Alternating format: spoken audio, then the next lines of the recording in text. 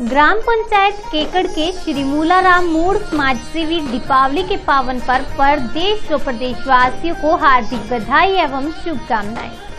बेटी पढ़ाओ, बेटी बचाओ। दीपावली के पावन पर्व पर स्वदेशी पटाखों का प्रयोग करें। चाइनीज़ आइटम का बहिष्कार करें। घर परिवार में साफ़ सफ़ाई का विशेष ध्यान रखें।